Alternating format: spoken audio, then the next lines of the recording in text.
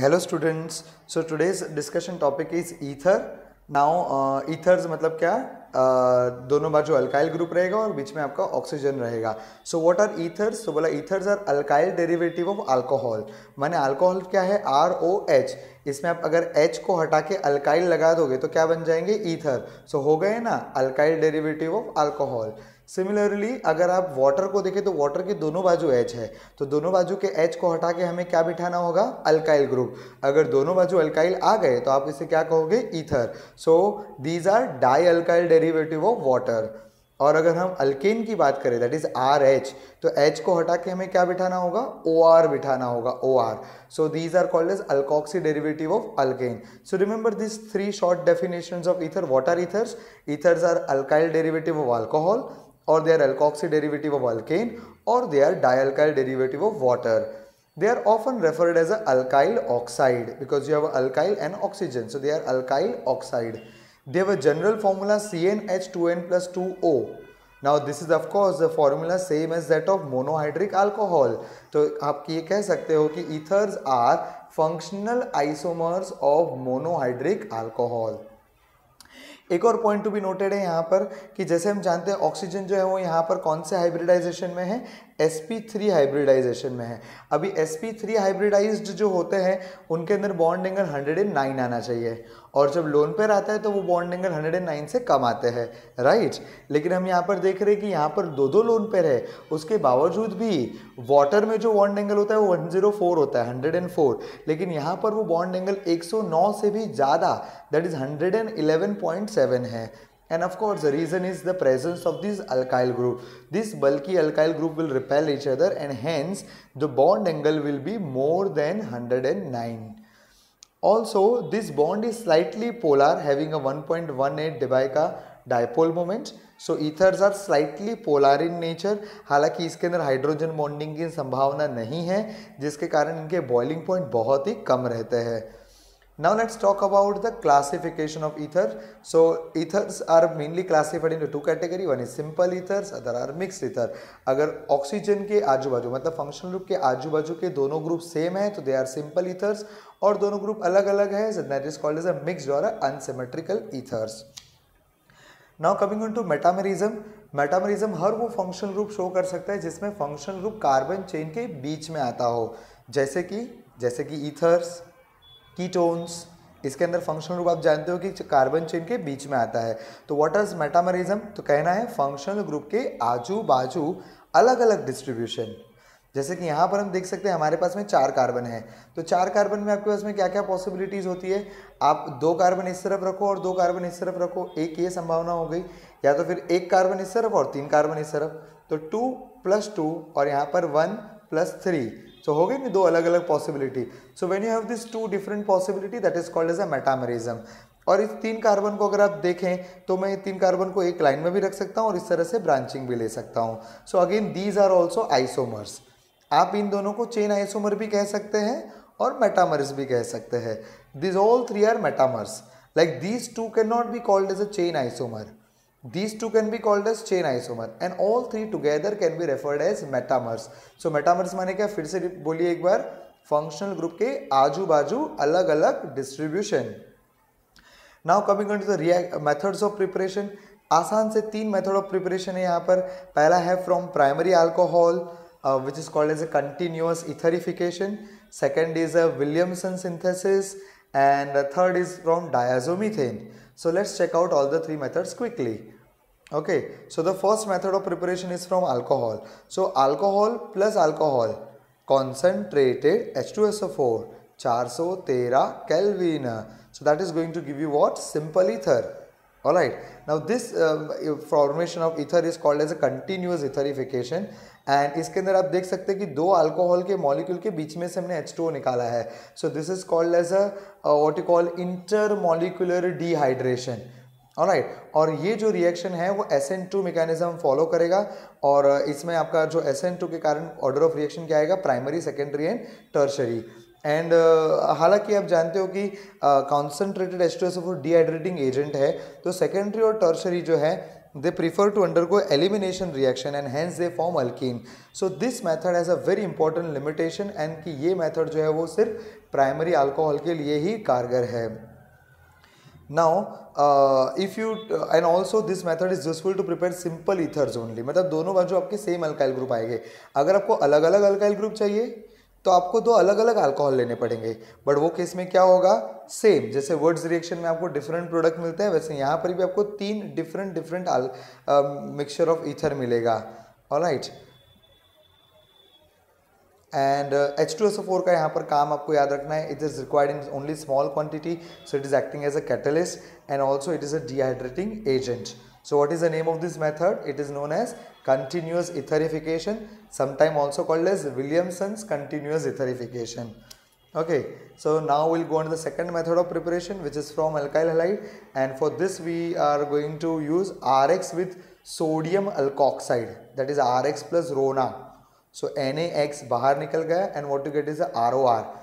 Point to be noted, it is a very useful method to prepare mixed ether because RX और R ये दोनों R आप अलग अलग ले सकते हैं so RX plus Rona will give you what ROR that is a mixed ether again this also follows SN2 mechanism so tertiary RX यहाँ पर भी नहीं चलेगा tertiary RX strong base high temperature इस condition में क्या होता है राइट right, एलिमिनेशन होता है सो so, यहाँ पर भी अगर आप टर्शरी आर एक्स लोगे तो आपको विलियमसन सिंथेसिस में एलिमिनेशन होना होके मिलेगा सो so, uh, अगर आपको ऐसा कोई कंपाउंड बनाना है जिसमें टर्शरी अल्काइल है सो so आप प्रेफरेबली प्राइमरी आरएक्स ले सकते हो और टर्शरी रोना ले सकते हो. So that will give you a better yield coming to the third method of preparation that is from diazomethane diazomethane से हम कैसे बनाएँगे? This is called as methylation of alcohol यहाँ पर हम ट्रीट करेंगे अल्कोहल को सी एच टू नट्टू से। सी एच टू नट्टू माने डायजो डायजो मतलब दो नाइट्रोजन और मीथेन डायजो मीथेन से ट्रीट करने पर ये आपका कार्बीन इंटरमीडिएट जनरेट करेगा। I repeat carbene intermediate generate करेगा और ये आपका यहाँ पर ग्रुप अटैच हो जाएगा। And this will become R O और ये ग्रुप यहाँ पर जुड़ गया तो R O C H three so you will have a ethers but इस मेथड का लिमिटेशन क्या है? कि एक बाजू हमेशा आपको मिथाइल ग्रुप ही मिलेगा। ओके एंड जो एन टू है that will be liberated so these are the three simple method of preparation first is a continuous etherification second is Williamson synthesis and third is from diazomethane तीन method of preparation के बाद अब आते हैं ethers के reactions ether के अंदर तीन ही रिएक्शन है. एक है पहला कोल्ड एच के साथ में सेकेंड है हॉट एचआई के साथ में और थर्ड है with dilute H two S O four that is hydrolysis सवाल आता है, सर, तीन ही रिएक्शन क्यों हैं? Because ethers are very less reactive so ये जो रिएक्शन है सॉर्ट ऑफ़ हाइड्रोलिसिस टाइप के रिएक्शन है. तो पहला जो रिएक्शन है that is with cold HI cold HI लेने पर जो छोटा वाला रहेगा, वो आपका हलाइड बनेगा और बड़ा वाला जो अल्काइल ग्रुप रहेगा, वो आपका अल्कोहल बनेगा. ठीक है? एंड ये भी ऐसे इंटू मैकेनिज्म फॉलो करेगा. सो कोल्ड एचआई में आपको एक अल्कोहल मिलेगा, एक आयोडाइड मिलेगा. अल्कोहल कौन सा? सो हायर वाला। और हाईलाइट uh, कौन सा? तो लोअर वाला। But very important point to be noted like if you take what you call let's check out cold H I का few reaction first if you take isopropyl methyl ether you get बड़ा वाला as alcohol and छोटा वाला as iodide again you take anisole so बड़ा वाला as alcohol छोटा वाला as iodide here also you have taken tert butyl methyl ether. So what we thought is bada wala alcohol but wait. Tertiary carbocation is very stable and hence it will preferably form iodide and chota wala will form alcohol. So it's very important point to be noted when you have a tertiary butyl or even when you have a benzyl group. Alright, so bada wala instead of forming alcohol it will form iodide and chota wala will form alcohol. Alright, so these are the four important examples to be remembered. Coming back if it is cold H I you have to be very careful एक alcohol बनाना है एक iodide बनाना है। अगर hot H I है so no issues दोनों आपके अल्काइल आयोडाइड ही बनने हैं। चाहे बड़ा हो या छोटा हो दोनों का आपका क्या बन जाएगा? अल्काइल आयोडाइड और two moles of H I यहाँ पर कंज्यूम होगा। Third and the last reaction of ether is इसे डाइल्यूट एच के साथ में हाइड्रोलिसिस कराया जाए। सो so, जैसे आप जानते हो alcohol plus alcohol gives you ether तो ईथर को तोड़ोगे तो आपको क्या मिलेगा? यस अल्कोहल प्लस अल्कोहल तो दोनों अल्कोहल मिले। हॉट एचआई में दोनों आयोडाइड मिले और कोल्ड एचआई में एक अल्कोहल एक आयोडाइड और इसे डिसाइड कैसे करें? That we have already discussed so now let's come on to the last part of the you know topic ether one is use of ether and other is a crown ether so let's check out you know usages of ether it is use as a industrial solvent it is use as a solvent for reaction like Grignard reagent and Wurtz reaction it is also use as a refrigerant and it is also use as a anaesthetic agent हालाँकि जो latest anaesthetic agent जो है वो उसमें है nitrous oxide और halothane तो ether is also good anaesthetic agent but these are the latest one see it का very favourite question what is natalite so natalite is a fuel substitute and it is obtained as from the mixture of ethanol and diethyl ether so natalite के ऊपर question आ सकता है तो point to be noted Now coming to the next one that is nothing but crown ethers. So crown ethers क्या होते हैं? These are cyclic macrocyclic poly polyether है। बराबर है? Discovered by Charles J Pedersen and इसे कैसे लिखा जाता है? तो एन क्राउन एम जहाँ पर एन का मतलब होता है टोटल नंबर ऑफ़ एटम और एम का मतलब होता है सिर्फ़ ऑक्सीजन एटम जैसे इस स्ट्रक्चर के अंदर आप देख सकते हो टोटल कितने मेंबर्स है? एक, दो, तीन, चार, पाँच छः एंड सो ऑन अठारह टोटल मेंबर है।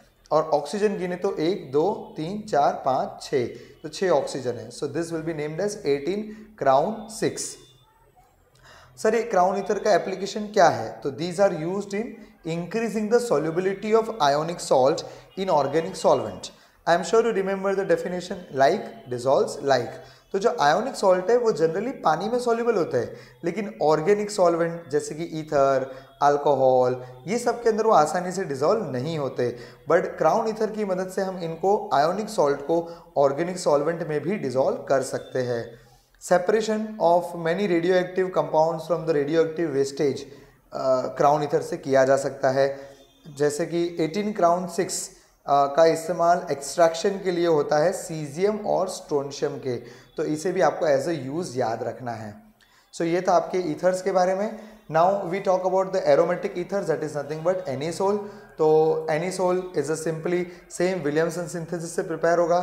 फिनाइल का पहले हमने बना दिया sodium phenoxide and then it is treated with C S three I so N A I बाहर आ जाएगा it will form anisole and if you take C2H5I you will get C2H5 uh, O uh, benzene that is phenitol alright now coming to the reactions reactions are ditto same because after all it is a benzene ring so benzene ring can undergo what ESR correct so ESR कौन से halogenation nitration sulfonation FC alkylation acylation so let's check out the first is bromination यहाँ bromination कैसे कराया जाता है mainly bromine and acetic acid as a medium.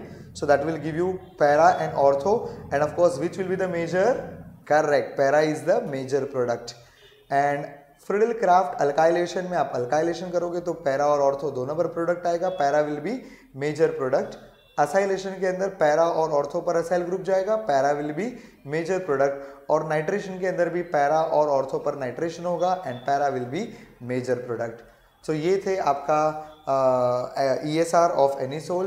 So here we have finished with the ethers. Hope you understood. Thank you very much.